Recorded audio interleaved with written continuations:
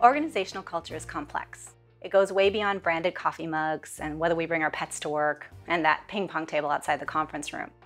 It's about how organizations operate on a daily basis, the ways in which we interact with each other, how we make decisions, how work gets done.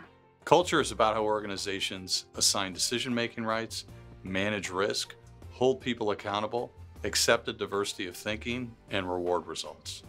Everything from the way a company is organized, to the way it rewards and engages with its employees, to the systems and processes it uses, influences organizational culture, which drives business outcomes.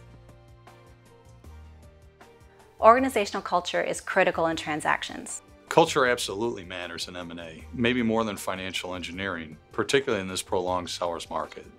If we can draw a connection between how an organization is performing, how its people are performing, and the culture of that organization, we can begin to understand how the culture impacts the financial side of the equation. Our teams around the world work on over 1,200 transactions a year, both on the buy side and the sell side. 60% of those are cross-border.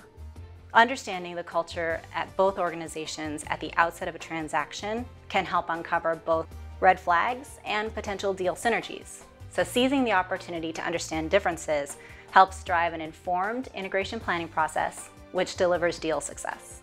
Business leaders that empower, energize, and engage the workforce routinely leverage culture to drive economic value and gain competitive advantage.